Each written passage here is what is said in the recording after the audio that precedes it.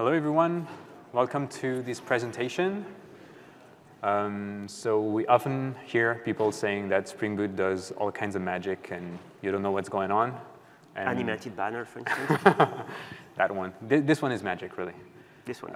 Um, so we wanted to, to have a, a talk so you could go from how does that magic work to, ah, this is working like this. And by the end of that talk, you should be able to reuse that infrastructure and be like, ah, this is not magic at all. It's just stuff that I use every day now. So we hope that we'll explain everything and uh, that uh, will, uh, there won't be any magic by the end of that talk. So remember, this is a deep dive session, um, three slots. Um, so the, the way we intended to do this is 45 minutes, then 20 minutes break so that you can rest your brain a bit, probably be necessary, and then 45 minutes again. Um, so we'll cover all kinds of topics. Uh, we'll do gently at the beginning, like really the basics, then going to the harder stuff, hopefully not too hard to explain. And then we'll gently um, land again with a few additional concepts and misconceptions about Spring Boot or Spring in general. Yeah. Cool. So let's get started or what? Yeah. Oh, do we have a couple of questions maybe? Oh yeah. So first one, who's using Spring Boot? Keep your hand up if you're using it in production. What? All right, Brilliant. so go down. Who's not using Spring Boot? That would probably be easier. One, two, three, four, five, six. Cool. Okay, maybe 20? Interesting. Okay, Perfect. good, perfect. Um, so um, we'll use, a, um, in, in the course of this talk, we'll use a very basic Spring Boot application, as you'll see with a service that's very complex, not complex at all, you'll see.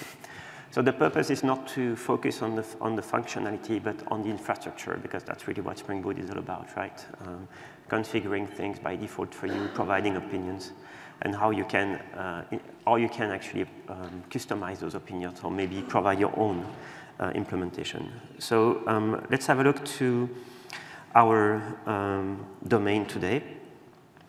Very complex. Um, so we have this interface that says hello is a name. Told you, very complex.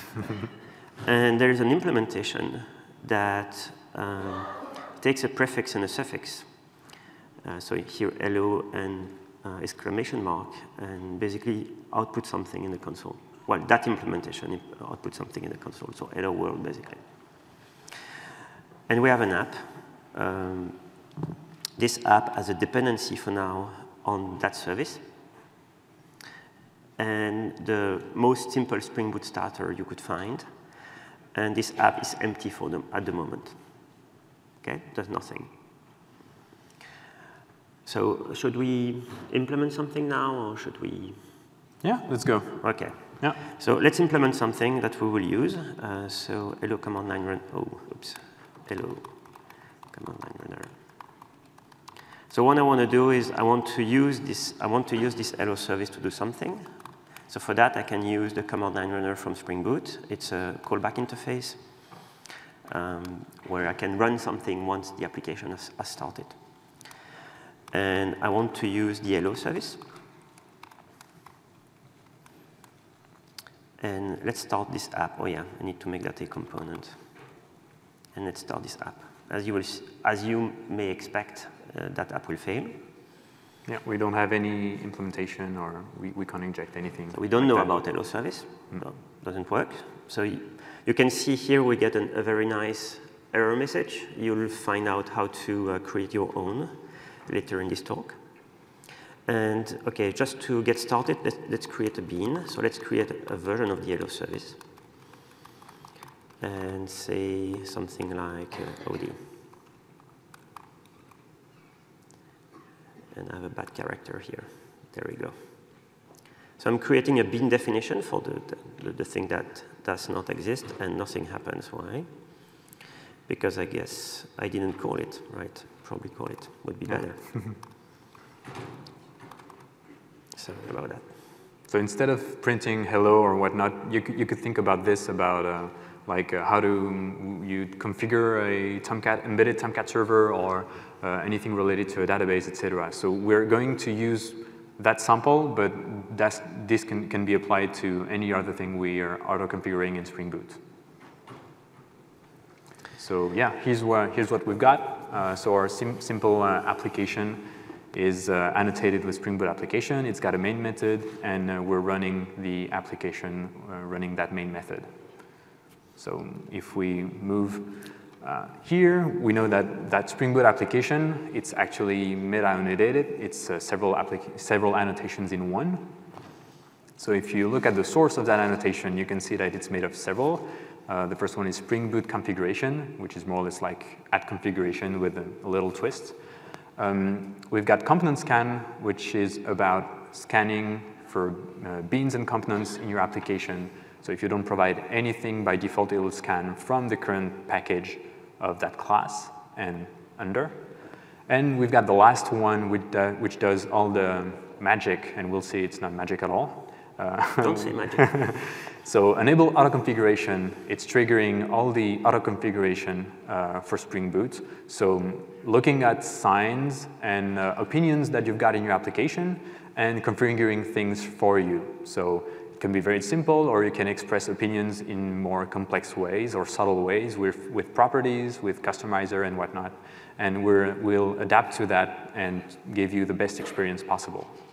So what, what that means also is that neither component scanning or the auto-configuration infrastructure is a mandatory concept in Spring Boot. So you could completely disable them. You could not use component scan at all if you want to, or you could also use Spring Boot without the auto configuration if you choose to. You lose a lot of features, but there is nothing that prevents you to do that. Mm. So th this is, uh, we wanted to show you that just to show you that uh, a Spring Boot application is just reusing several parts of infrastructure.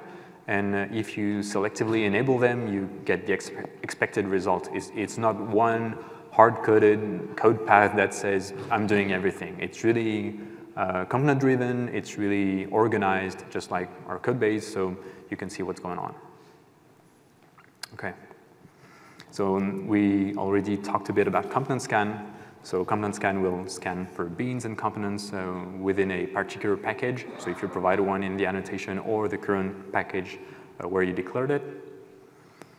And uh, so that's how it goes. So if you declare it on, a, on a class in package, com example hello, it will scan into alpha and bravo, and uh, obviously the com example Charlie won't be, won't be scanned at all. And um, it can be, it, it, can look like obvious in that case, but it happens a lot. Mm -hmm. So um, for example, if you, if you don't create your application with start.spring.io, um, uh, start.spring.io not only provides a build.gradle or a pom.xml file with all the right dependencies and all, it's, it's providing you with the right structure and by accident, if you just uh, like create a class in the, in, the wrong, in the wrong place, you can end up with something in com example Charlie, and it won't be scanned at all, and you don't know why.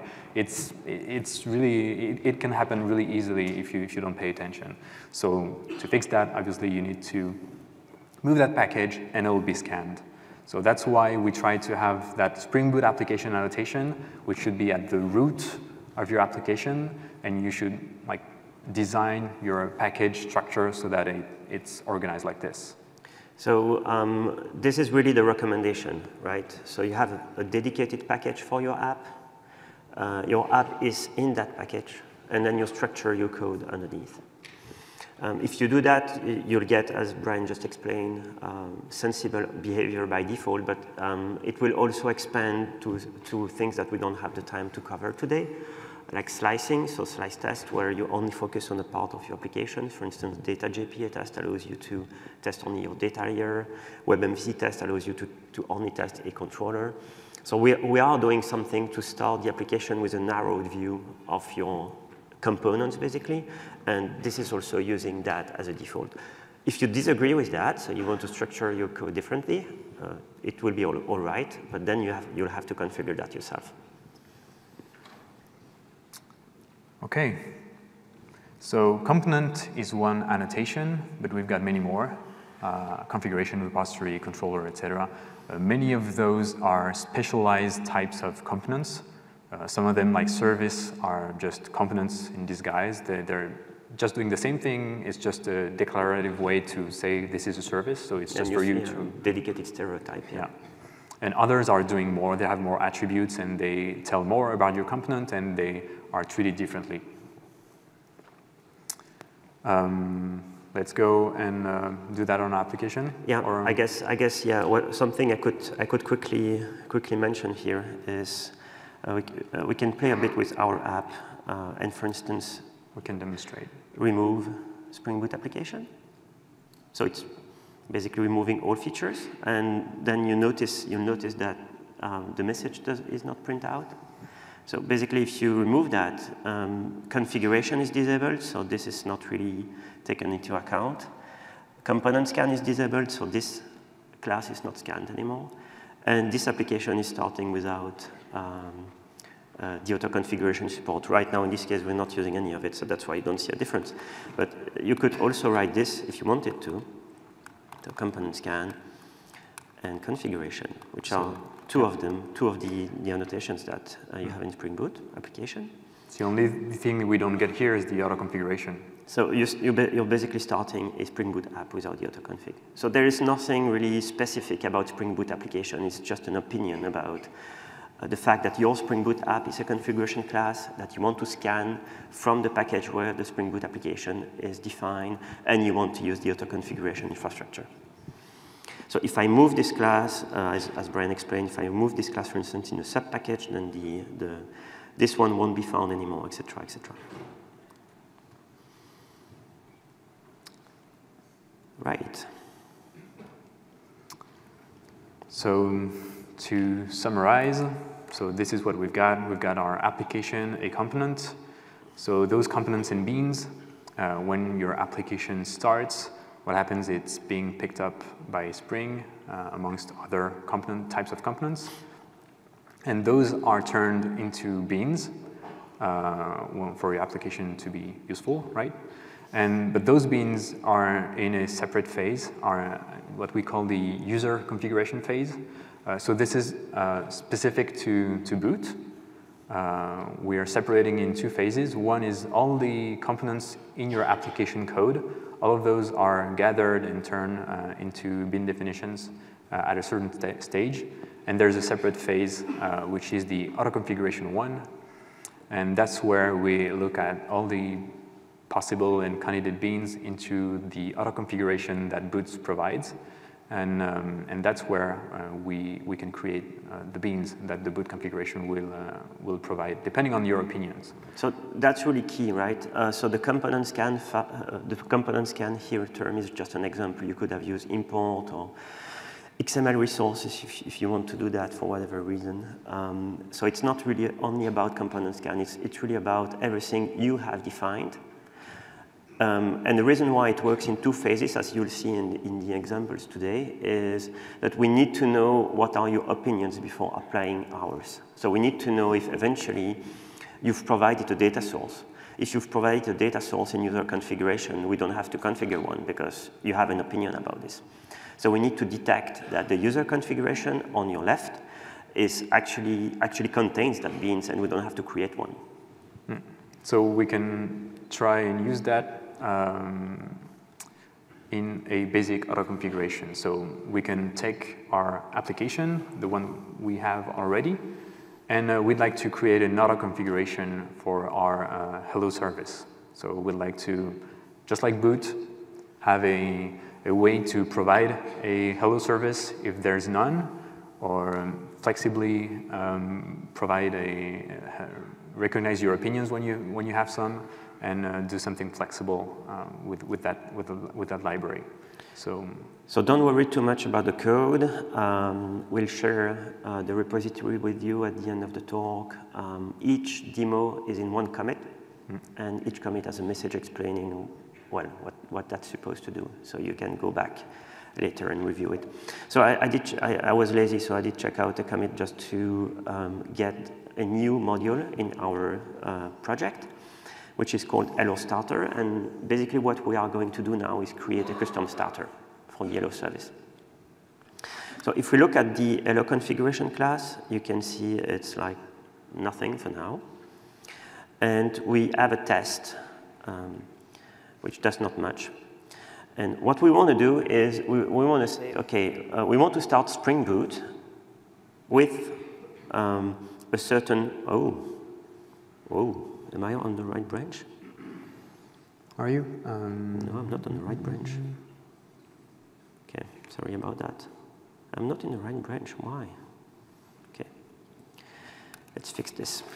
One thing that you can think about that specific starter project, uh, here we'll mix both the auto configuration and the actual dependencies. What happens in, in real life when you pull a starter, a Spring Boot starter, you only get the dependencies and the auto configuration is already built in Spring Boot itself. But if you want to have your own starter in your company, uh, you can definitely do that. You can create a project, have the auto configuration in it, provide some dependencies, and write exactly what we're about to write. So you can express uh, how some certain library should be used in your company, uh, the default opinions it should have, all the properties, configuration properties uh, you should provide so that, so, so that users can change that default opinion in some ways. So just like all the things uh, we, you have already with Boot, uh, by the end of that talk, you'll know how to build the same thing for your own library, and so you can use that in, in several projects. So actually, we have two branches on this project. We have one, which is the original talk um, based on 1.5, and we have a new branch now, uh, which is what you see, uh, based on Spring Boot 2. Uh, it was supposed to be 2.0M7, and yesterday, when we had a look to the examples, we obviously found a bug.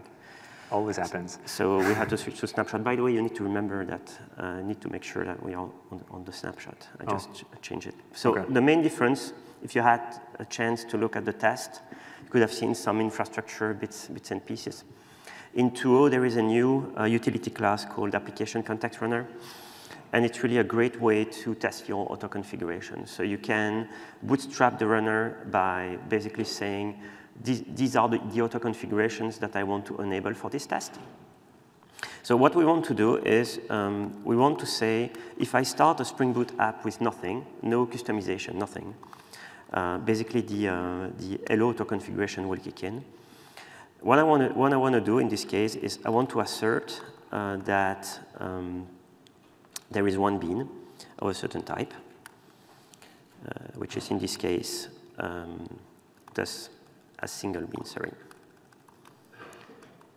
Hello service, which will not resolve because I haven't really changed my POM yet. So let's do that. So my starter, um, what should I, what do I need to do for my starter? It doesn't really rely on anything, so let's use the, the basic one. And I need a dependency on my service. So and this would be the library you you, would like to create an auto configuration for, and the boot starter dependency provides the basic infrastructure you'll need to write your own auto configuration and everything. So there, there's really two ways to uh, think of it when if you want to build a, um, a starter, and we'll choose the, the easy one. Mm -hmm. But the most, the, I wouldn't call it the common one, but once you have more code, it's a good idea to separate the code from the starter. So you have one module with the auto configuration so that you can use that independently. And you have the starter that brings the auto configuration, of course, and the dependencies that you think are the right ones for that use case. In this particular uh, scenario, we are shipping the code and the library in one module. Um, so if you, if you had that in two modules, this would definitely be optional so that you don't have a transitive dependency if you, if you rely on the code. So you could have the, the auto configuration code, but not the library. And adding the library is actually the thing that enables the auto configuration. Yeah.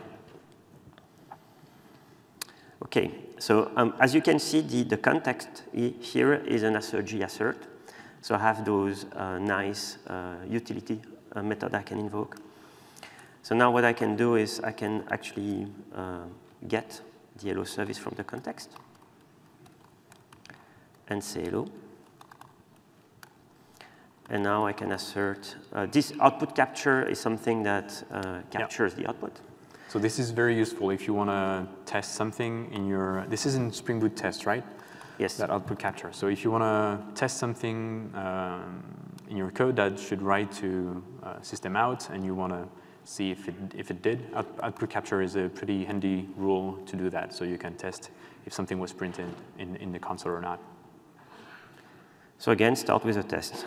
And um, in this case, it fails, as it should, because there's no such hello service bean, right? We haven't provided any.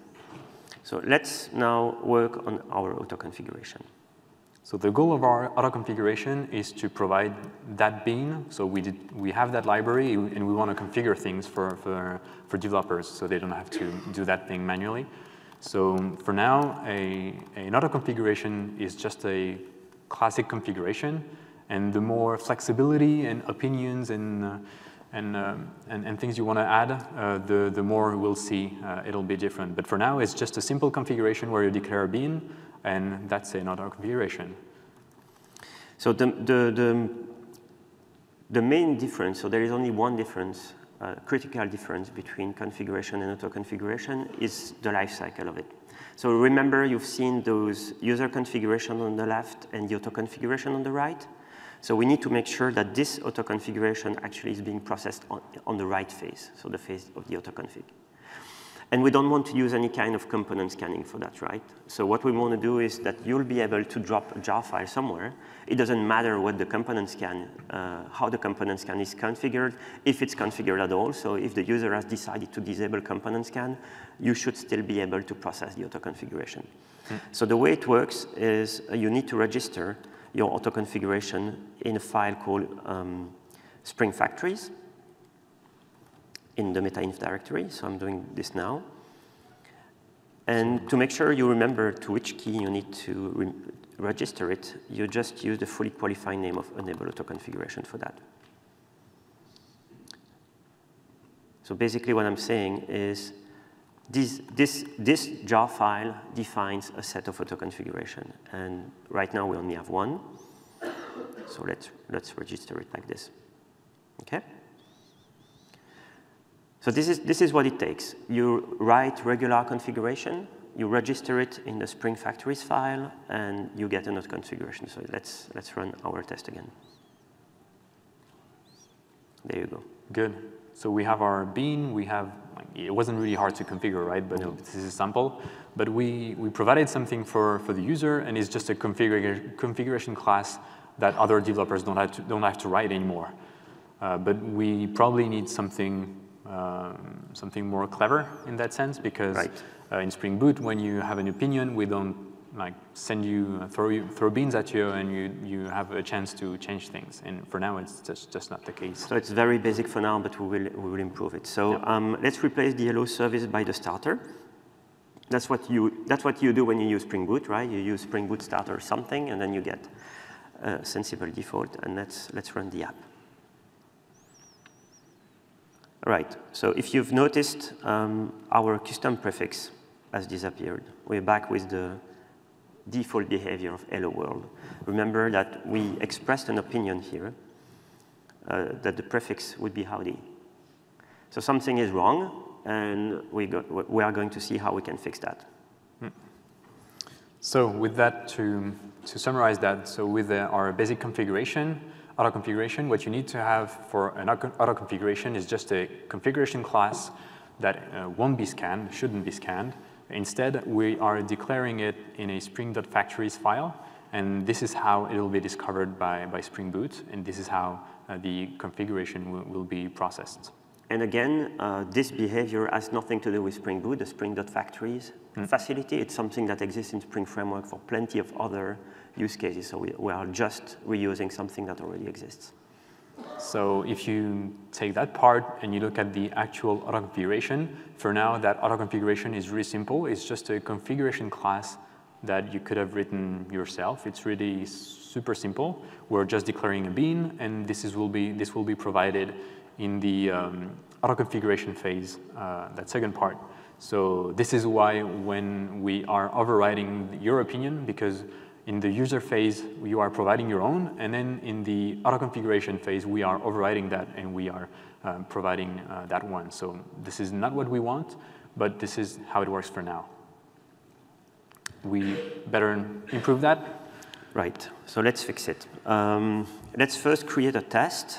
Uh, what we want to do is to uh, simulate that the user has provided its own version of it. So let's create a user configuration in our test. So we want to simulate what a user would do um, using your infrastructure, basically. So and let's, let's just so you know, the um, application uh, context runner that we have, uh, previously in Spring Boot 1.4, uh, we were testing things in a more um, manual way, I'd say. Uh, so this is more involved. We would set up the context ourselves and we would uh, register the configurations in the right order. And this is something um, you came up with, I think, yes. um, to, um, because it was easy to mix things up in our own code base and to test things the wrong way. Uh, at least this way we can see th this is the, the configuration classes that are dedicated for the auto configuration. Those are the ones that should be provided by developers, and we are testing the several scenarios. So it's just a, an easier way to test things, but behind that is just regular uh, context setup with Spring Framework, not, nothing, nothing fancy. So um, what we want to do is we want to say, I want to start a Spring Boot app or mini, mini Spring Boot app with the auto configuration, and I want to apply that user config. So I want to simulate that the user has defined that in its configuration. So to do that, we, we have explicit support in the context runner. We could say with user configuration with a class. And that's going to do the right thing. So if we start this test, you'll notice that. So in that case, we have the auto configuration, the configuration provided by the user, and we want to make sure that the opinion uh, provided by the, the, the, developer is still there. And for now, it's not because uh, we're providing our own component no matter what. Right. So the outcome of the test now is, oh, I have two beans. I have my hello service, which is this one, and I have um, hello service, which is this one. So what we want to do now is we want to express in our auto configuration that if a bean of that type already exists, we shouldn't do anything. And that's where the conditions comes into play. So I could say uh, conditional on missing bean on this type, and it will default to the return type of the method. So I could say also conditional on missing bean console hello service if I want to narrow it down for whatever reason, mm. right? But that's not what I want to do. So that's one. And two, uh, we also want to say if the hello service library is not here, there is no reason for us to kick in. So don't even, don't even try to do anything if hello service is not there. So for that, we can add a condition on class on one, one, one class that's supposed to be in that library. Mm. So what, what that will do concretely is it will check if whether or not that class is on the class path. And if it's not, it will simply discard the, the whole content of the config.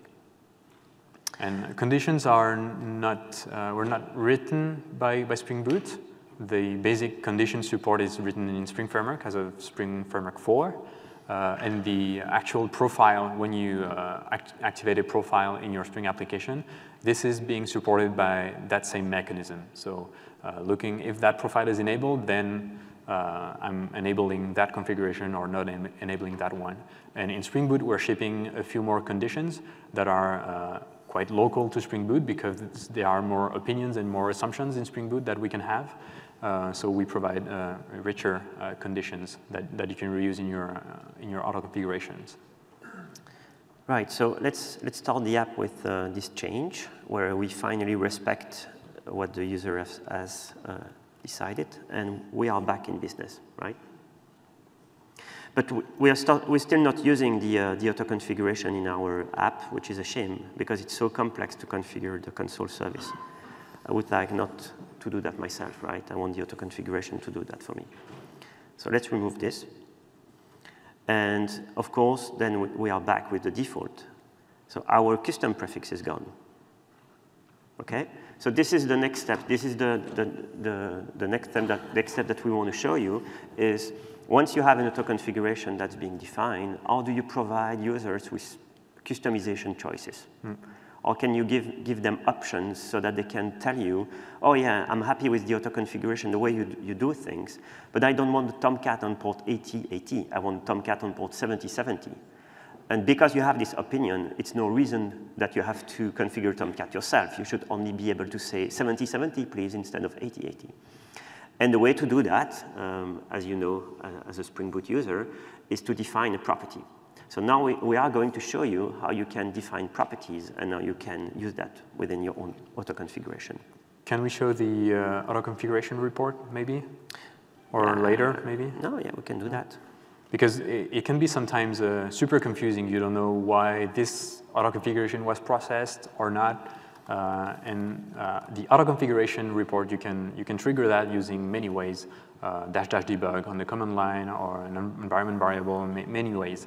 And uh, when you start your application, you get a nice uh, report with all the auto configuration that were processed, uh, why they were activated or not, which condition matched or didn't match. This is really super useful if you thought something would happen or shouldn't happen. This is what you should look at. And um, the, some, yeah, the most obvious one, if, if your auto configuration doesn't show up here, it's probably because you forgot the spring.factories file or something like this. So this is a good, very good step to, um, if you didn't write tests, uh, it's a very good test, test to, to see what happens.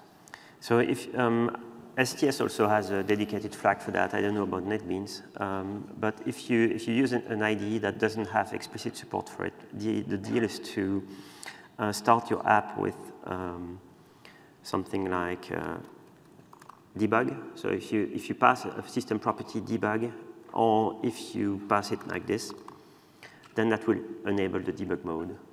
And the debug mode will print out the auto configuration report at the end.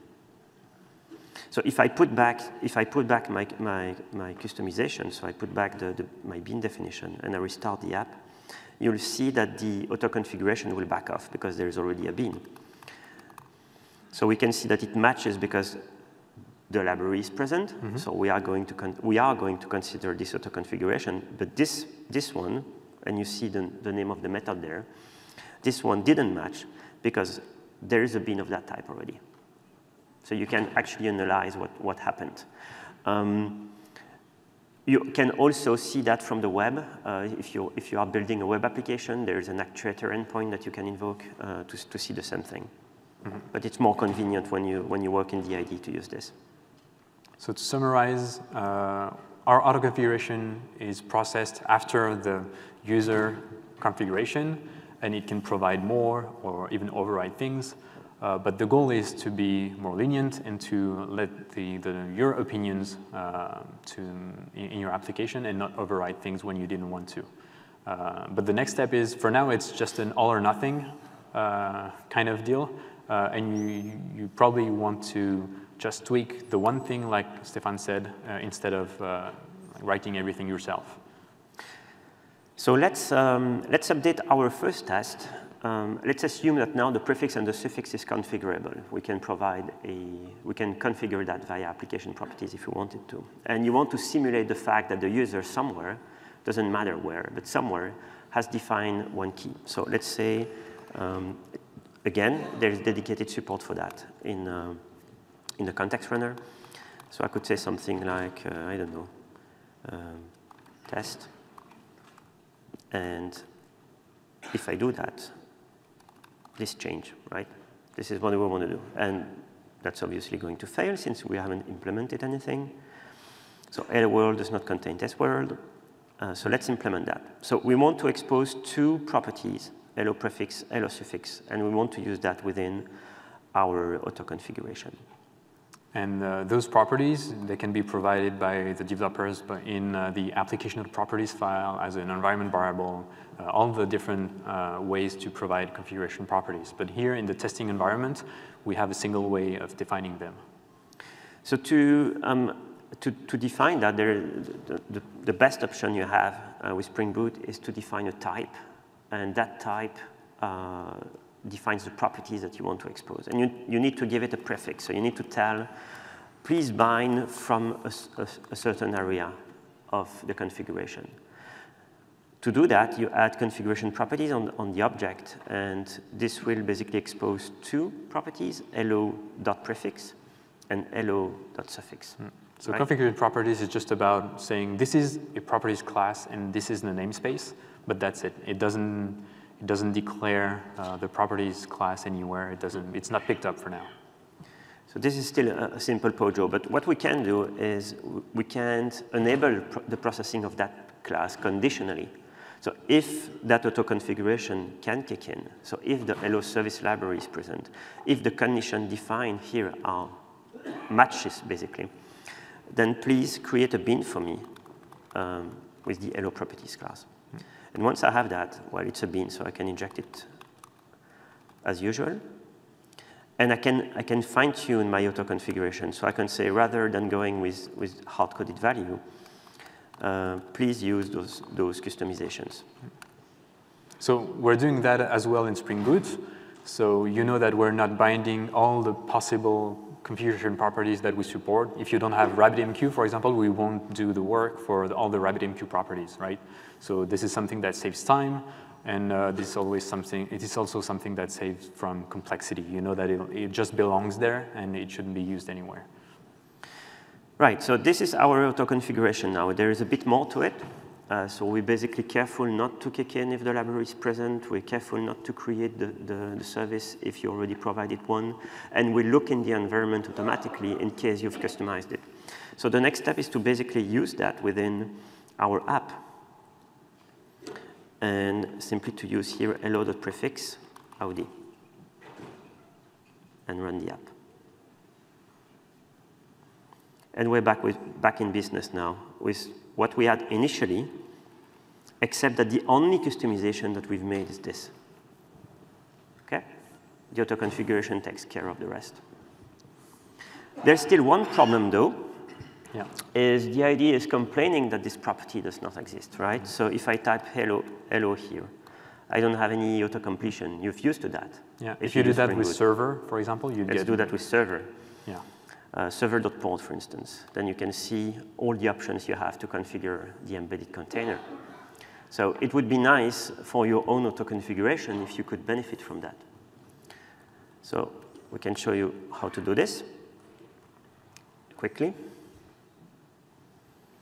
Um, you've noticed also maybe um, yeah. a banner here that complains the Spring Boot configuration annotation processor wasn't found.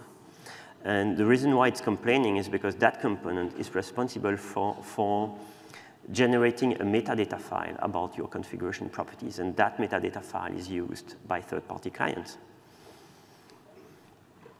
So let me add the dependency here. And we don't need, we only need that locally, so there's no reason to. Uh, Just for compilation. It's, it's not useful at runtime. And let's go back here. And it's not uh, yellow anymore, and I can see the suffix as well, and the default value. We could go further, um, as we do if, if you've looked at the uh, Spring Boot code base, you've probably, no, you've probably noticed that on those classes we had, we had javadoc on field. Uh, that's because that, uh, that documentation is used um, for documenting the keys. something like that, very clever. And just recompiling will create a, um, a, metadata file inside the jar, and that will be picked up by, by the IDEs. So it's supported in uh, STS, NetBeans, uh, IntelliJ, right. many others. So in the end, uh, that processor is basically creating this file, nothing fancy. So it's basically detecting the properties and just storing that metadata. And IDEs read that simply to give you um, um, automatic uh, intentions about what you type. So what that means also is if you don't, if you don't want to use that component, you want to write that yourself for whatever reason, for keys that you manage yourself, that's perfectly fine. Just write that and the ID will pick that up.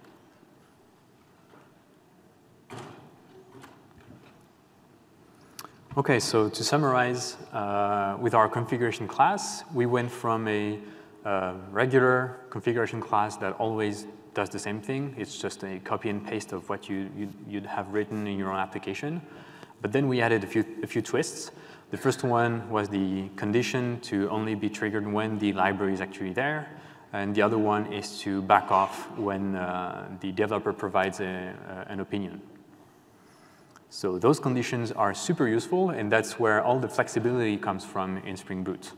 Uh, so we saw conditional missing bean, uh, so uh, process this, this, this class or this method when the, there's no bean of that type.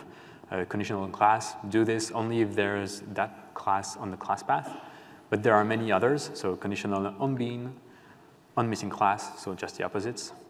Conditional on property, so if you've got a property present defined by the developer uh, with a certain value. Uh, other more complex conditions, so is it a web application of which type? Uh, we've got a servlet and reactive now. Mm -hmm. is it not a web application? Uh, on resource, so do you have a resource uh, present on the class path? Or? For that, you can imagine that you have like some conventions in your company, right? You have a file at a specific location, and when that file in that location is present, you want to do something, hmm. because that's some company's default in your development environment. Well, you could write an, an auto configuration that detects that and does something about it. Hmm. There's on single candidate, so if you provide just one bean of, uh, of one type, and not several. Uh, conditional Java, we're not using that a lot anymore. Yeah, well, Java changes so much now. conditional, yeah, conditional Java 32. Mm -hmm. 42. so we have that right now, plus uh, JNDI, in case you want to check things out in, J in JNDI, and expre expression, which is about uh, SpEL ex expressions. Don't do that. Usually, when we see developers using that one, 99% of the time you can do that uh, in a simpler way with conditional property often. Mm -hmm. And uh, very often as well, uh, if it's more complex than that, uh, either you have a crazy, crazy long uh, expression or it deserves its own condition, something you can definitely implement yourself. And we will show you how to do that. Exactly. So please don't do that. And uh, so the, the, the, whole deal behind uh, enable auto configuration is that when you have that annotation uh, in your application, uh, it, it's, um, it's asking for those Spring Factories file to be processed. When we look at those, we see all the auto configurations that are present. And when we have those auto configuration, we look at each. So if it's just a configuration class, then we process it, we do everything in it if there's a conditional on something on that class for Bravo, for example, and if that condition does not match, we don't do anything. We, we, don't, we, don't read, we don't process that auto configuration. If everything checks out, just like Charlie, uh, then we process uh, that class, auto configuration class. And in case of Delta, uh, the first condition that doesn't match, we don't even care about the others. We won't, we won't uh, process the other conditions. Uh, so we, we are as fast as we can for about conditions. And certain of those conditions actually apply without even loading the class itself. So mm. you've seen, for instance, conditional on class hello service.class, and you may wonder, okay, if I'm writing hello service.class in the code and hello service is not on the class path, how, how does it work? And the reason why it works is because that uh, certain conditions are actually processed by reading the bytecode. So we use ASM to write the bytecode of the class. We extract those uh, tokens from the, from the bytecode, and we apply the condition. And if the condition doesn't, doesn't match, we don't even load the class itself. Hmm. That was 1.4. Yes. And uh, in 2.0, oh, yeah, we're right. doing even something even better. So without even reading the file, so before we weren't reading the class, mm -hmm. loading the class, and but we were reading the first bytecode instructions. And now we're uh, at, comp at compilation time, we are writing some kind of index where we express that condition in, in an index.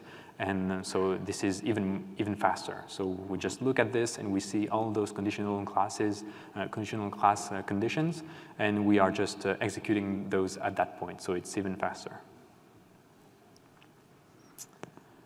So we have two auto, auto configurations. So yeah, two of those uh, of the four matched. Um, if you look at Charlie, for example, um, let's say inside that class, you also have another uh, other methods and conditions. And just like the top level annotations, we look at the conditions, uh, ex execute those, see if they match or not. If they match, then we uh, execute the, the bean method and we have a new bean in our context. If not, then we don't do anything. So uh, we told you that uh, we were executing one condition after the other, and we told you that, and you can see that some are uh, quite uh, easy conditional in class. It's just looking, uh, do I have that class in my class path? But others like conditional in bean, it's uh, much more complex because you have to look at, if, is there a bean like this in my context? But since, we, since um, it depends on when you do that, so if you do that at, at a certain point in time, maybe someone later will create that bean and you'll get a condition negative, but actually it was positive for some other reason. So order is everything here. Mm -hmm. And uh, if you look at those, single candidate bean and missing bean, we are executing those at a separate phase. So all the others, they are executed quite early. And uh, the, uh, the other three, we are executing a bit later when the others had a chance to uh, to contribute things to the context. And that's why it's very important that you have user configuration on one side and auto configuration on the others, right? Because if we check, oh, did the user provide provided a bean of type A? We need to make sure that everything on the user side has been processed and we actually know what you've, what you've defined before actually running those conditions. Yeah. And as you'll see later, you could also have, and we have that in Spring Boot, you can also have um, such conditions between auto configurations, so auto configurations competing with each other. So for that case, it's very important that they are ordered properly, and we'll, mm. show, you, we'll show you how to do that. Yeah, definitely. And uh, so that's a, the two-phase thing. But as well, if you look at those conditions, some of them are really cheap and some others are more complex. They require more work. And if you've got several of them uh, on a single class, for example, it'll be a bit silly to check for the very expensive ones first if the very simple one doesn't, doesn't match, right? So that's what we do. There's a specific order uh, um, that we use to, uh, to process the, the conditions. And uh, this is how you can speed up um, the processing of your auto configurations. And actually, th that's why in some cases, and very often, adding more conditions does not equal being slower. Uh, because if you add the cheap ones, then chances are you'll be just faster. Yeah. So advanced tips, if you write uh, your own condition, try to find a sensitive, sensitive order. So if your condition is, is a bit expensive, try to put it below the chain, so give it a, a high order. On the contrary, if the, if the condition is very fast to check, just put it a lower order. Okay, so let's say we want to write our own condition. Not, nothing, um, none of those uh, matches what we would like to do. So let's write our own condition so we can have something more flexible in our application. 45 minutes already. Yeah. About the break? Yeah, sure. Sugar in your brain, whatever, if you're still alive. And we see you in 20 minutes? 20 minutes. Thank you. Awesome. So we had plenty of questions. That's amazing. Thank you very much. I hope uh, we'll have more at the end. Uh, the good news also is that we had uh, some, I don't know you because we haven't a chance to, to chat actually, but on my side I had like uh, a couple of questions or even more than that that we are actually going to address hopefully now. Cool. So that's the good news. So we were at um, conditions and I was telling you um, about, well, me and Brian were mm -hmm. telling you about uh, some, some important things to know about conditions. So let's build our own conditions, right? So that you'll see it's very easy. It's not something that you'll have to do uh, every time. Uh, it's, it's more of an advanced use case, but we want to show you what, what that means in, in, in practice. Right. So uh, we want to do something a bit silly, um, if I remember the name of the thing. Of your template? yes. What's the name of that template for that again? I think what we'd like is to um, uh, add a specific condition uh, on our configuration to restrict the usage of our library to, um, to only accept certain prefixes or certain rules on our, on our prefix and suffix values. And uh, we'd like to enforce that as a condition level to, um, to, to have a better experience. Right. So it's a bit silly because it's not really representative of what, what you would do, but at least you, you can relate to that for your own use case. So there is two things we want to do is if the hello.prefix property is not set, let's not create the bean because we must have a prefix. So first, let me remove the default one. Okay, no default anymore. Uh, here you can see that the, uh, the, the, context gives you nice uh, assert utilities, so here, like that. And the second thing, which is even, even a bit more funny, is let's say that if the context is, uh, the prefix, sorry, is set, but doesn't start with an uppercase, then the service is not defined either. So that's boo instead of boo, right? Whatever, for whatever reason. Okay, so let's run that. And those two tests will fail uh, because obviously we, we are configuring the service. We haven't done anything yet. So we want to define um, uh, that uh, condition. To define a condition, you, you create a class that extends from Spring Boot condition, and you'll get um, a context, and you'll get the, the metadata of where the condition has been defined. We'll come back to that in a minute. So you can basically now write any logic you want based on the current status of the context, right? So I'm saying, uh, give me the environment. Uh, do we have a hello.prefix property? Okay, so do we have that? So let's take the first character. Is the first character an uppercase? It's not an uppercase, then I'm actually saying that the condition doesn't match.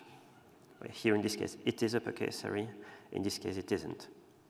So you can write, can, you can write a, a, detail as why it didn't match. And if you remember the auto configuration report that we've shown you, you get a chance now to tell your team members, okay, I didn't do that because of this, okay? So we provide that infrastructure so that can be displayed. When we showed the auto configuration report, you had all those nice messages. So using that infrastructure gives you the same, uh, the same level of support uh, as the Spring Boot ones. It's a bit what we've shown you with the keys, where you add an annotation processor, and then you can have your custom keys um, in, in DID. By the way, this is by no means this is an auto-configuration specific concept, right? So if you, build, if you build a Spring Boot app and you want to expose some configuration items for your app, regardless of the auto-configuration, mm -hmm. you do the exact same thing and it will work.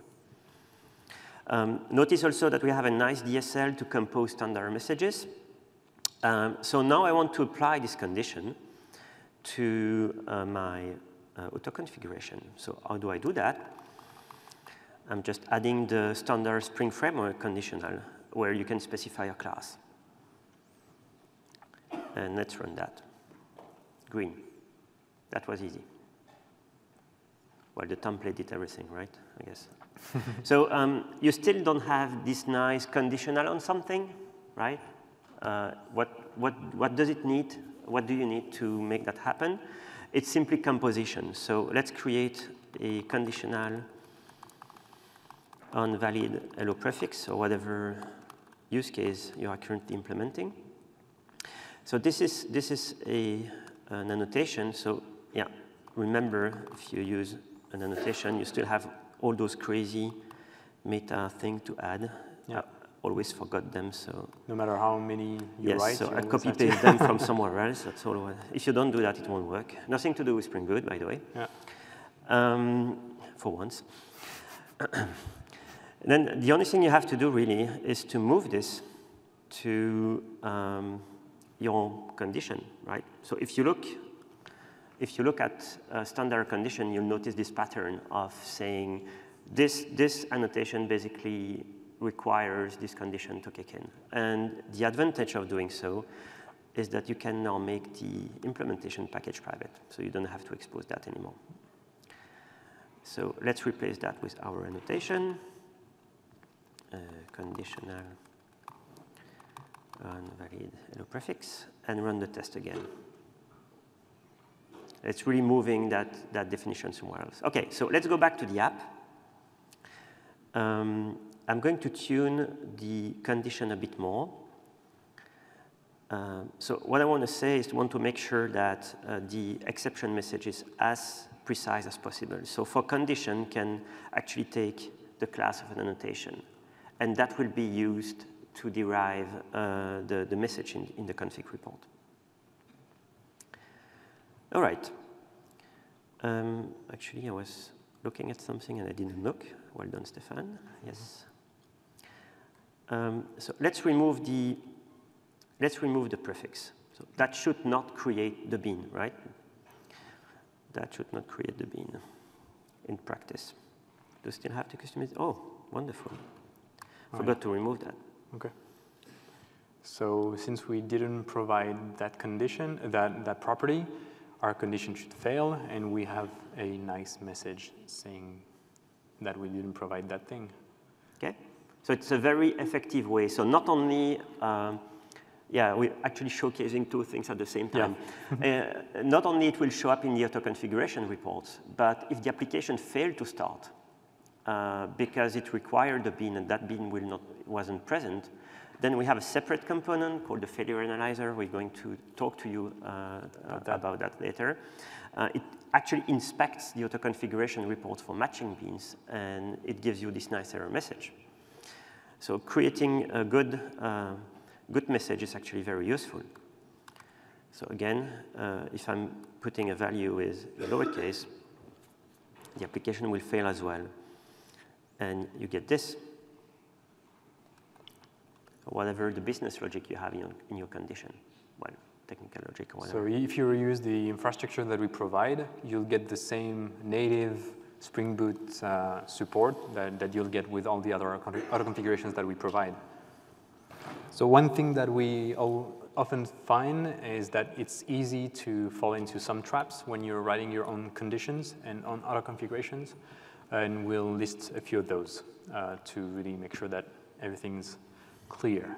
Uh, so let's take a, uh, few classes, auto configuration classes. Uh, let's say you write an auto configuration that creates a, uh, a data access bean if uh, taking a single JDBC template, and then another one that just creates a data source, and then another one that takes a single data source and creates a JDBC template. You can see that there's a relationship between, uh, between those three. the thing is, if they don't run in the right order, then you won't get the, same, the thing that you'd expect. So this is an ordering problem that can be quite uh, a big problem, especially since if we don't enforce that, imagine starting your, your boot application and sometimes you get the right thing, sometimes you don't. Uh, so we want to enforce that and make sure that it's uh, triggered in the right order. So uh, if you take those three auto configurations, there's a way to, uh, to tell, to, to declare that order uh, with the auto configuration, auto configure after annotation. So you can say you should definitely process that auto configuration after JDBC. You should uh, auto configure that one before the other one, etc. So once you've declared that order, uh, those auto configurations are processed in the right order, and you can expect what should happen, which is this one creates a data source. That data source is used in the JDBC one, which creates in turn a JDBC template, which is used there and creates the data access. So if you want that, you need to order things. Otherwise, you won't get the, the expected result. So you're not very familiar with that as a Spring user because you expect the application context to do everything for you, right? Which is a nightmare for us. Trust us. I'm not even kidding. it's really a nightmare, uh, including uh, dealing with cycles and whatnot. But in this case, it's very different, right? Uh, we process a condition to say, does that bean exist? Do I have only a bean of that type, one bean of that type? And in, in order to make sure it will be, always be uh, consistent with the current auto configurations that are uh, currently defined, we need to make sure that, that that condition runs at the right time. And we can't use the application context to figure those links because it doesn't work the same way. So it's very important that you order your auto configurations. Cool. Uh, then another trap that's easy to fall into is the conditional on class not, uh, uh, not set at the, at, the right, um, at, the, at the right place. So let's say we have this uh, auto, configuration, auto class trying to configure uh, Gson as a JSON parser, and you have the conditional on class annotation at the bean method level, if you do that, then when the auto configuration is processed, then we see, oh, that, that configuration class has no conditions, so let's go, let's load that configuration class. And then loading that class will, load, will read the methods. And it, when you read the method, you have to read the types. And here will, the JVM will try to read the Gson type. It won't be there, it'll blow up. So that condition there, conditional class, is not at the, at the right, at the right uh, place. because the, that type is not known at that level. So like we said before, if you want to make sure to not fall into that trap, you should move the conditional on class at that level. And um, you get two things. One, it's working. And two, uh, and two, it's faster because we won't even load that class at all. We'll just look at, look at our index and we'll do that at compil compilation time and it'll be super fast. Uh, one thing just to remind you, uh, we've got two phases, one about uh, looking at the user configuration and the other one at auto configurations. Uh, so if you look at this, and this is a application configuration, so something that you have in the user, in the, your own application. So the if you try, sorry? The thing on the left? Yeah. So this is processed at, during the first phase, and if you try to ha have um, some conditions, like condition on, condition on class, things like this should work, right? It's a condition, so yeah, basic condition. But for some specific conditions, the ones we highlighted uh, before, uh, it won't definitely, it won't work at all. I mean, it there's won't work like you expect. There's a chance it will work, but you, know, you can't be sure.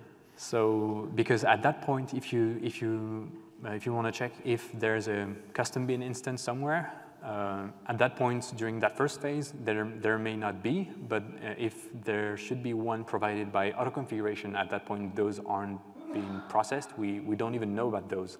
So it's, it's too early. We, we can't know about this at that point. So doing that, you won't really uh, be uh, respecting the opinions of, of the application. Mm -hmm. You'll just do something that's not expected. So don't do that don't use that condition, those conditions uh, in uh, user configurations. Right. Um, so let's go ahead and, and customize the, the, app a bit more. Um, and let's build something that's not an auto configuration, but something that allows you to um, tune how the, um, how the environment is processed. So um, I, have, I have this file somewhere on my machine. Uh, dot hello is that .lo? Oh, yeah, okay. I need it's in your user. Yeah, yeah of ah, course. yeah. I need to wake up, you know. so right there, okay. I have on my home directory in the .lo slash settings directory, I have lo prefix.hi, right? So now let's assume for a second um, that you're building an app and um, you, you have rules within the team and you want to share some, well, you want to be able to define some local settings, but you don't want to put that in the Git repo. You want to have that in your, um, in your home and home directory, for instance. So how can you ask Spring Boot when it starts the app to actually look at that location and update the environment with those information? So think about what, what you, you'll be able to do. It's quite convenient. So um, let's implement that. Do I have that already or not? I always forget. I do. Very convenient to type when you have nothing to type, right? um, so the, the hook point is environment post-processor. It's a way for you to tell Spring Boot that you want to do something extra with the environment before starting the app.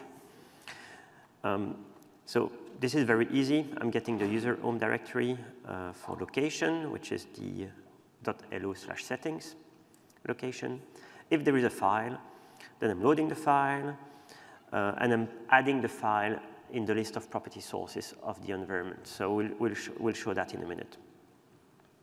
So now I want, I want that thing to be invoked regardless, right? So I've put it in the app, but you could have put that in the auto configuration, or you could, you could have put that in some shared library that your company is using, whatever the use case is. So I want to make sure that this is invoked, regardless of user's configuration. And the way to do this, uh, well, it will look familiar because we've done that already this, this afternoon, is to create a Spring Factories file and define the fully qualified name of our implementation. So I told you the key for auto configuration is enable auto configuration, and the key for an environment post-processor is environment post-processor, very, very, very hard. And then fully qualified name, and same thing, this is the way to declare it. And once we have that, uh, we know about that environment post-processor, and it, will be invoked uh, at startup time. There we go. So now I have uh, Hi world. Okay? So let's quickly turn on this app into a web app, just to show you one more feature.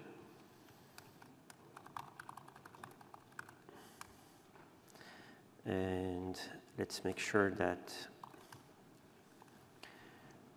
uh, management. Yeah, but it's it's loading the snapshot from the internet, you know. So. Is that a good idea? Maybe I should switch to. Yeah. Come on, on internet. You can do this. Okay. Um, one thing that we use the environment process, process, processor for, mm -hmm. I believe, is for DevTools, right? Yes. So when you have DevTools on your uh, class path and you're running the application locally, you probably noticed that there are a few things that we customize for you. For example, the, uh, we set the cache, uh, the HTTP cache for resources to zero. We make sure that the templating engines don't cache things. So when you change the template, it, the, the changes are reflected, stuff like that. So those are all properties. And those properties are changed for you uh, at application startup. Uh, so we change the defaults uh, in an environment post-processor. So th th that's one of the use case for, for this uh, if you, if you want to use it. So now you need to switch to dancing, Brian.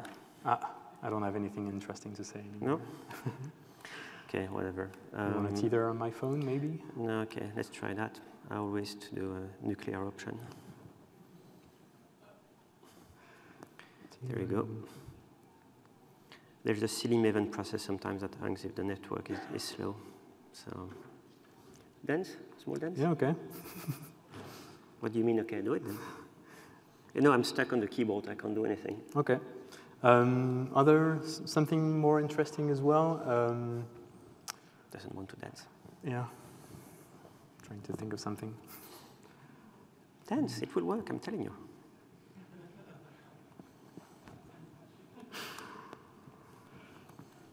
Um, so I owe you two beers now. Yeah, yeah, three, make it three. Three? He's mad. Good? No. Scanning? Scanning files to index. Okay. So what we're actually trying to change here is that since Spring Boot 2.0, uh, by default, we don't expose all the actuators endpoints because uh, we found that in some cases uh, it was easy to create an application, add actuator, um, push it to production, and forget that you didn't secure those endpoints. And those, some of those can be uh, uh, quite uh, uh, sensible with, security, with regards to security because you expose a lot of things. Uh, so for now, we're doing the safe thing, which is only expose the ones that are safe. And if you want to expose more, you have to do just like Stéphane did. You have to provide a configuration property saying, I want to expose those or I want to expose everything with a wildcard. So that's, that's a new feature in Spring Boot 2, uh, where if you require a particular um, key of the environment, you'll get a very detailed output. Uh, so in this case, I, I, can see that the value that's actually being used by, um, by my application is high. We know that.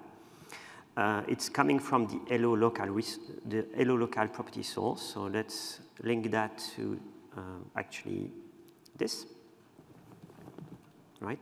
Yeah. And these are the property sources that could have matched.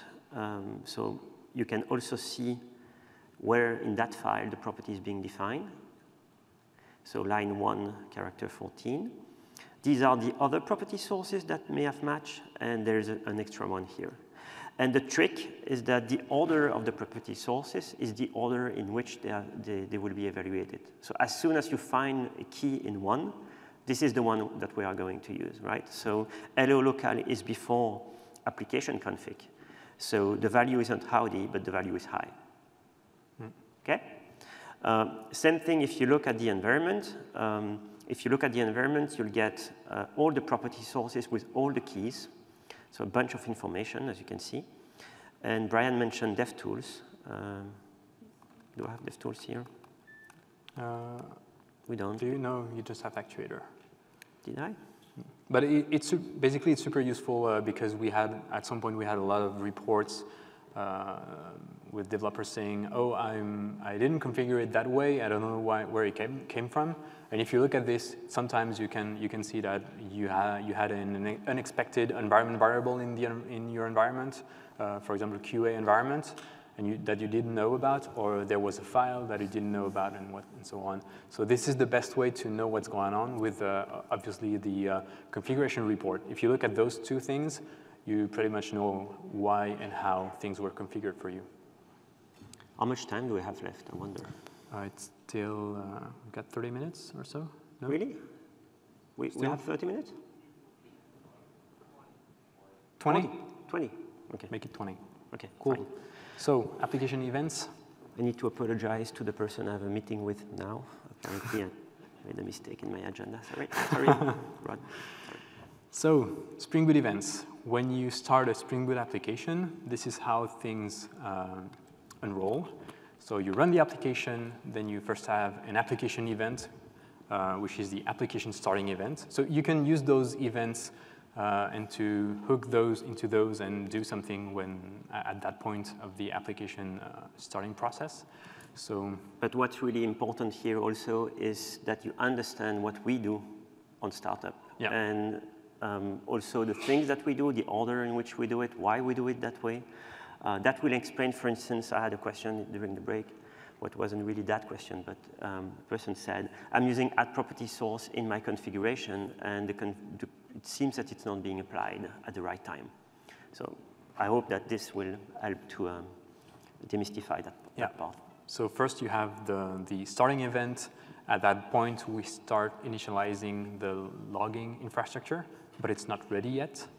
So you won't see logs at that point. And the reason why we do this is uh, Logback by default when you initialize it and you don't give it a configuration, it logs at debug level by default.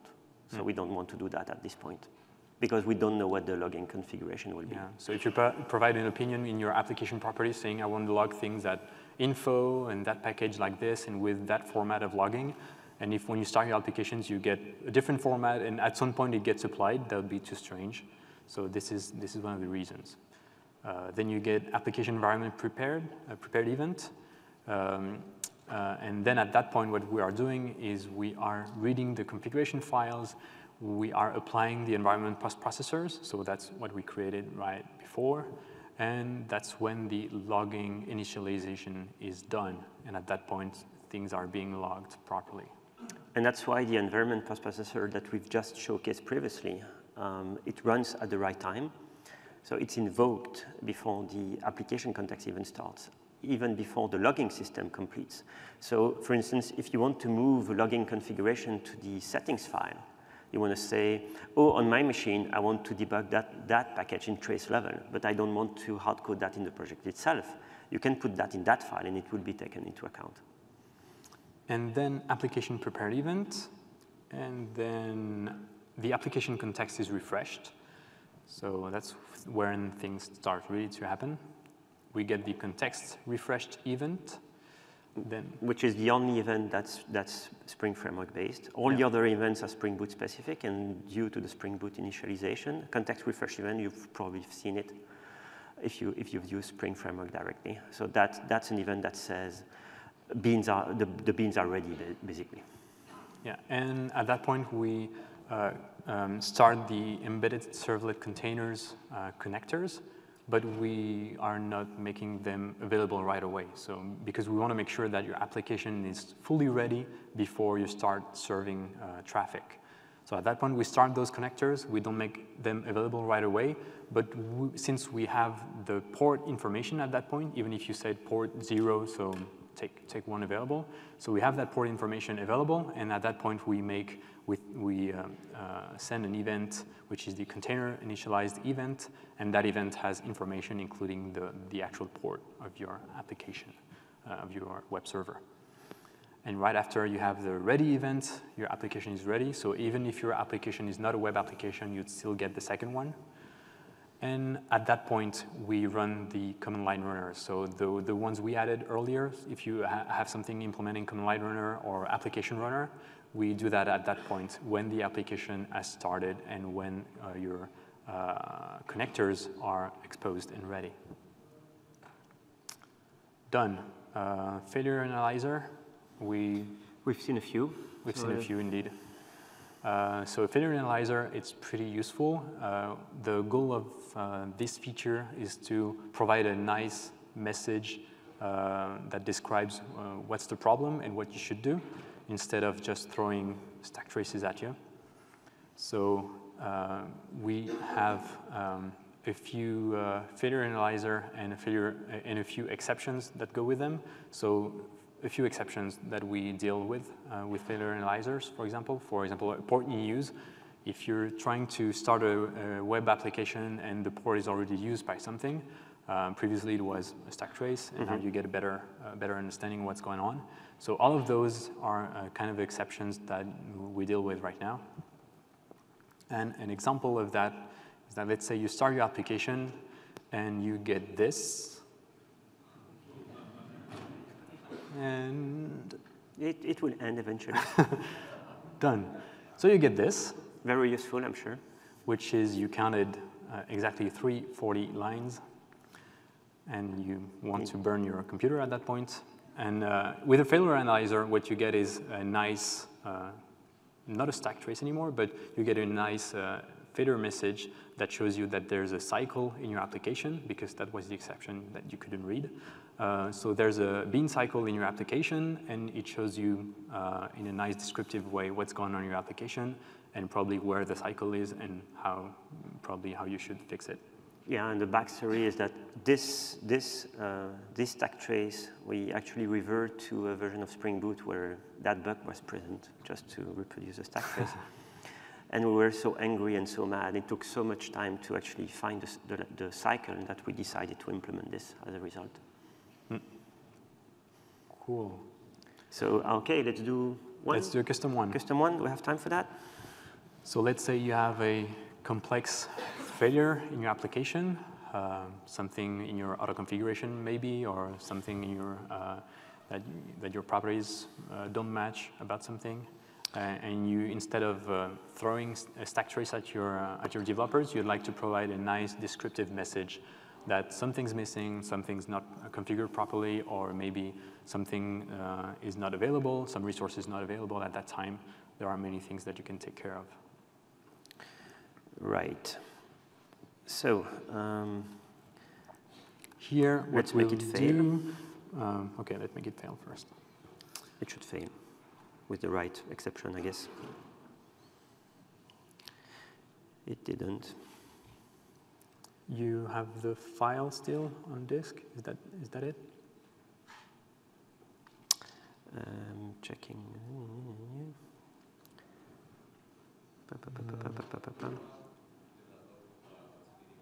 Yeah, the local file, is that the one? The local file? The in your dot .hello uh, Oh, folder? good point. Yeah, wonderful. You get a cookie. So uh, let me override that here. Um,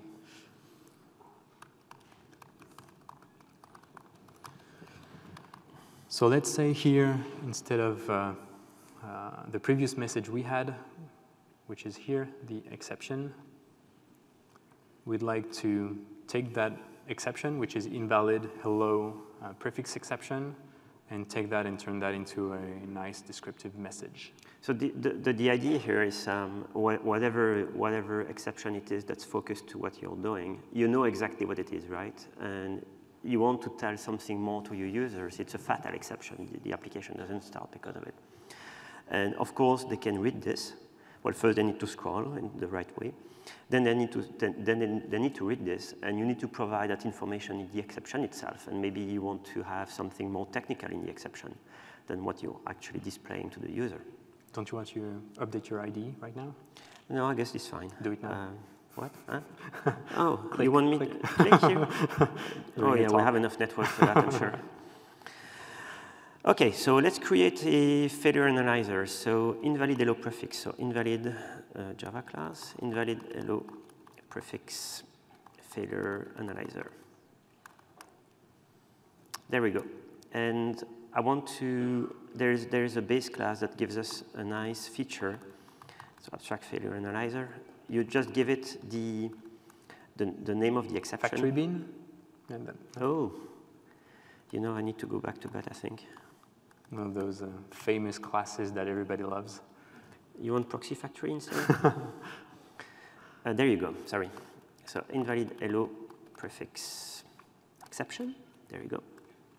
So what that, that, what that does, it's actually when there is an exception that caused the application to fail, it will, it will look in the nested causes if it finds an application with that type. And if it does, it will call you with the exception that, that occurred, the base one, and the one that it found.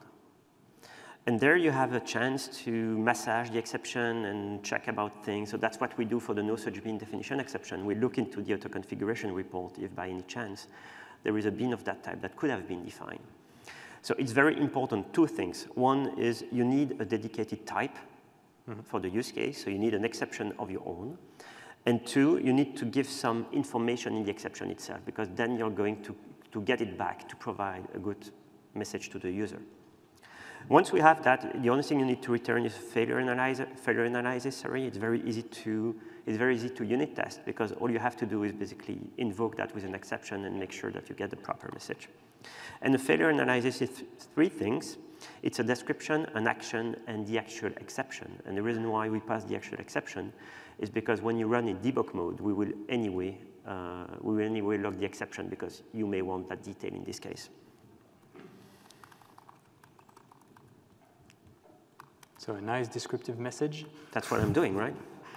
What you should do is fix the prefix and the provide that value. That's the important part. Uh, otherwise, it's just uh, another exception. You don't really provide context. Yes. And the failure. So I need to make sure that this um, LEO, wow. So this hello, invalid hello prefix failure analyzer runs regardless of the user configuration, right? I don't want them to say, hey, by the way, I know you have this nice feature, so I, I will enable it so I can actually see it. You want that to be enabled by default. So what do you do?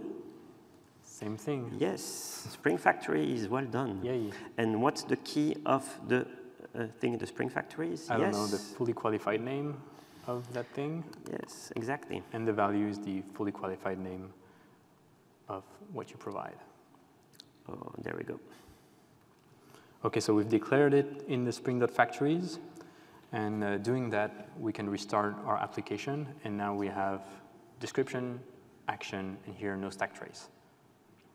But still, right. it's uh, like in other, like all the other features, it started as a feature in Spring Boot. And uh, we provided that infrastructure so you can reuse it in your own auto configuration and your own infrastructure. And you'll still get the same experience uh, as Spring Boot. So we, we're not hiding anything in our infrastructure. Uh, quite the opposite. We're we want you to use it uh, in your own auto configurations. Exactly. So how much time do we have now? I'm confused. Six minutes. There you go. Okay, so we want to stop with some uh, yeah. soft landing so that your brain can rest for a bit. so those are um, common questions that we had all over the place, Gitter issues, whatnot. Uh, so uh, about startup performance, so we often uh, get the question, my app takes a lot of time to start. What's going on?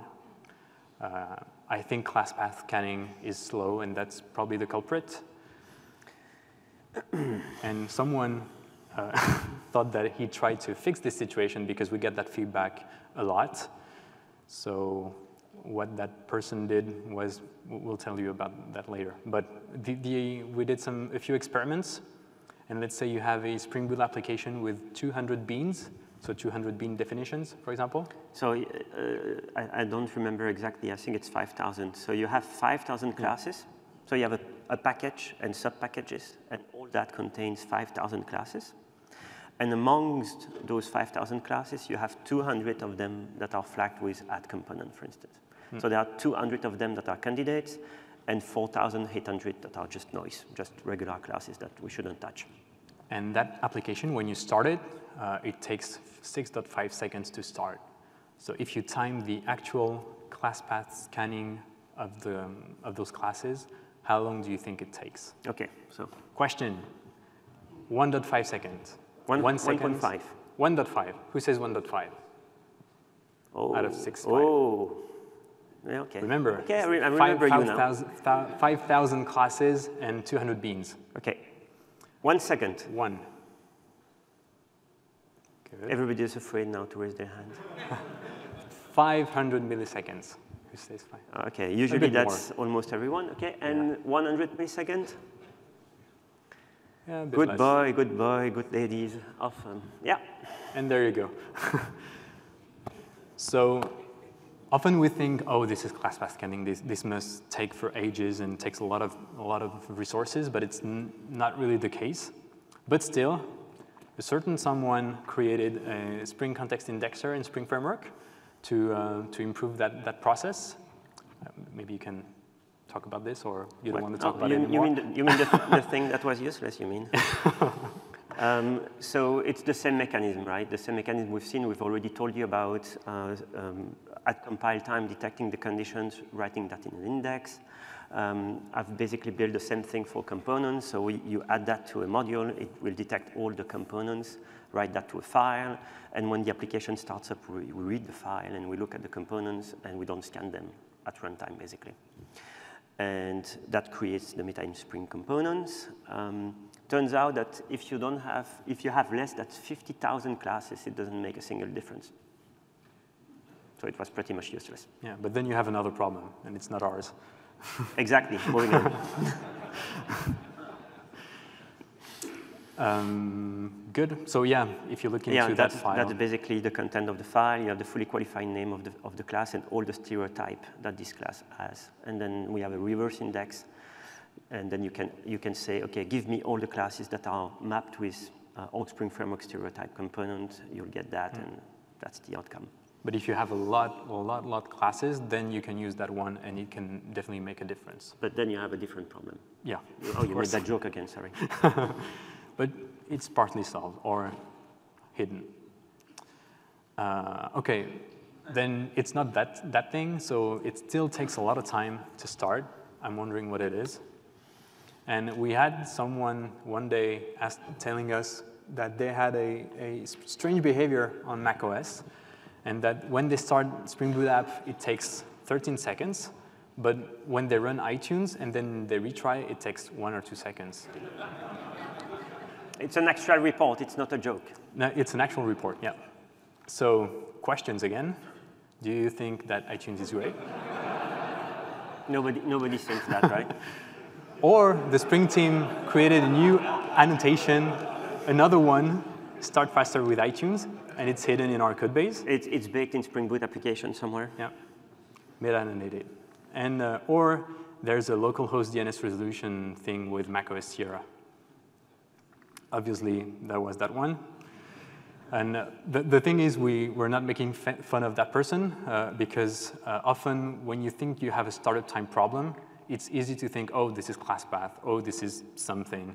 And when you actually try to look at it and try to think what it is, it's not always what you think it is. So if you have a problem, and we, we are really often, very often looking at startup time, we, have, uh, we are running tests for each release of Spring Boot, comparing uh, the time between releases, and we make sure that when we see a difference, we try to track down the difference and make that thing as optimized as we can. Um, but if you see a problem, don't hesitate to try to pinpoint what it is, try to come up with a sample that we can take a look at, mm -hmm. and uh, then from then we can maybe find an issue in Spring Boot or point you to um, the culprit. Other things that you can think of, uh, we've seen many of those. It can be some kind of network configuration uh, because you're trying to do something with the network at startup and it's taking a lot of time. Uh, antivirus, uh, if you're on your uh, uh, developing a developer laptop, sometimes the antiviruses, if you don't ignore your workspace or something like this, it, it can take a lot of time because you have a lot of files. Uh, lack of entropy, but that one has been fixed in Spring Boot 1.4. So yeah, with Tomcat previously, if you were running into a, a container, yes, that, that, was if you're running into a container that lacks entropy, uh, then the startup time could be longer. But we fixed that in Spring Boot 1.4. Uh, so if you see people saying you should use uh, slash dev slash uh, urandom, something like this, instead of blah, blah, blah. You don't have to do that anymore. You don't have to do that anymore. Uh, that was a specific problem. Uh, of course, there's a static code initialization, or um, one neat trick that you can try is to use the JVM no verify flag. That's the YOLO mode? Yeah. so this will actually skip some veri verifications on classes. Uh, so this is not very, you don't really need that unless you do JDK serialization or deserialization, stuff like this. But on a developer uh, laptop or workstation, you can definitely add that flag. It, it, will, and it will make a difference for startup time. Uh, and if you're interested in that topic, please take a look at Dave Syer's uh, repository about this. There's a whole uh, startup benchmark with uh, many tests, many cases, and we're um, uh, taking uh, all those measures to see if the startup times improves or not. It's easy also to run those benchmarks on your own machine, so you mm -hmm. can quickly spot if something is wrong locally or some setup that's wrong. Okay. And that was it. We're done. Thank you.